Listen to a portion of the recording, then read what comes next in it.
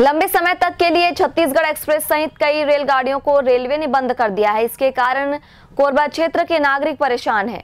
राजस्व मंत्री जय सिंह अग्रवाल ने इस मसले पर बिलासपुर में बैठक ली बंद ट्रेनों को बहाल नहीं करने पर कड़े निर्णय लेने की चेतावनी दी गई है यात्री ट्रेनों को बंद कर देने से दक्षिण पूर्व मध्य रेलवे के बड़े हिस्से में लोगों के सामने समस्याएँ खड़ी हो गई हैं। प्रदेश के राजस्व और बिलासपुर के प्रभारी मंत्री जय सिंह अग्रवाल ने इस सिलसिले में रेलवे की खबर ली। बिलासपुर कलेक्टर सारांश मित्तर के ज़रिए डीआरएम को बुलाया गया। कोरबा विकास समिति के प्रतिनिधि मंडल की उपस्थिति में जय सिंह अग्रवाल ने जानना चाहा कि छत्तीसगढ़ एक्सप्रेस सहित दूसरी गाड़ियों को बंद कर देने से लोग सफ़र कैसे करेंगे? छत्तीसगढ़ वाला जब ये आया तो ये लोग मेरे फ़ोन किए कि बोले, भैया, उसको बंद कर दिए। तो मैंने आपसे बात की।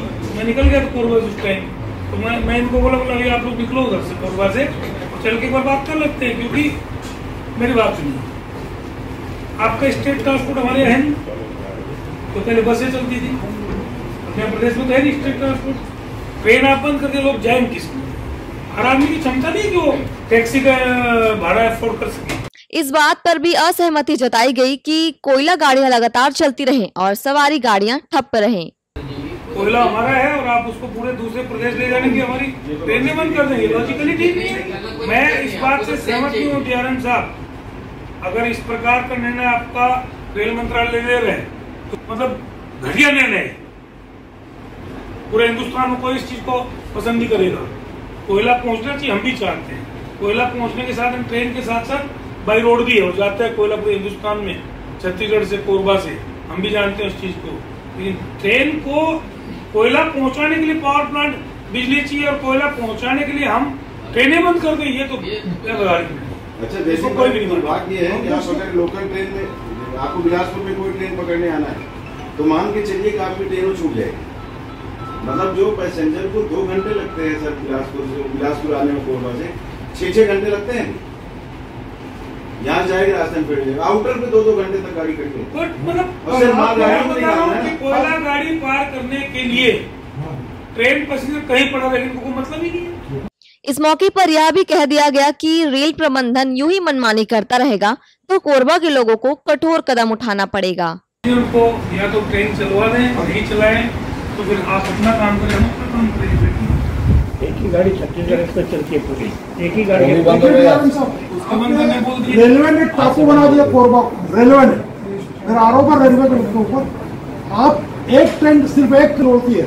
उसके कितने स्टेट में जाती छत्तीसगढ़ से आपने पूरे हिंदुस्तान से उनको कट कर दिया।